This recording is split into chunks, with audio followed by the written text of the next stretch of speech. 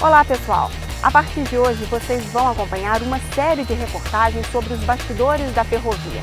Vamos entender quais as jogadas e as estratégias que fazem a MRS ser um time de campeões. Nossa concentração hoje em Barra do Piraí, no Estaleiro de Soldas. Vamos entrar em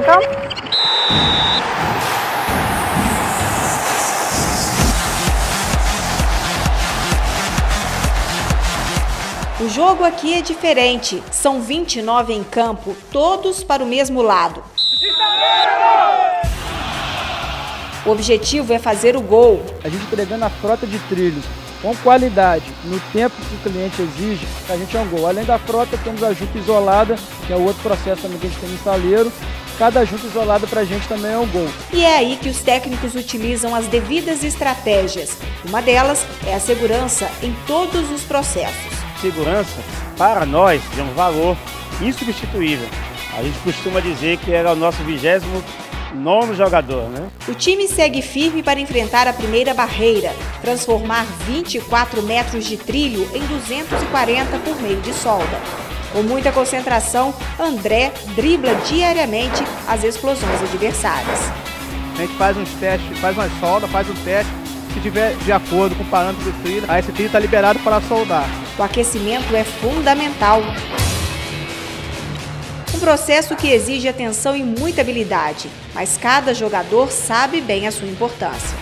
Eu diria que eu sou o camisa 10 aqui do time. Passe redondo, tempo regulamentar respeitado. Uma bela partida essa que acontece aqui em Barra do Piraí, no estaleiro de soldas. Eles não param de atacar. Agora é hora de receber o trilho, realizar o corte.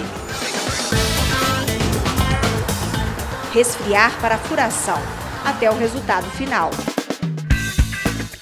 À medida que a locomotiva passa por cima da junta, o rodeiro dá uma ocupação, fecha circuito pelo truque da locomotiva ou vagão e aí ajuda na sinalização da, da malha ferroviária. E sem corpo mole. Logo lá atrás no gol, cato lá, tô lá na defesa também, tô lá no, tô no meio de campo, tô no ataque fazendo gol. Falou que é, que é para defender pô, o meu emprego, a minha, a minha empresa, que eu tenho que corresponder muito bem, eu jogo em todas. Time alinhado, é hora de partir para o abraço.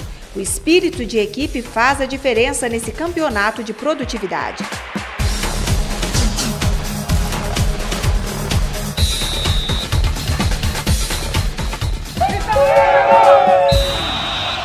Mostre você também quais as estratégias e as táticas da sua equipe para ganhar o jogo. A gente espera um contato seu. Tchau, tchau. Até a próxima.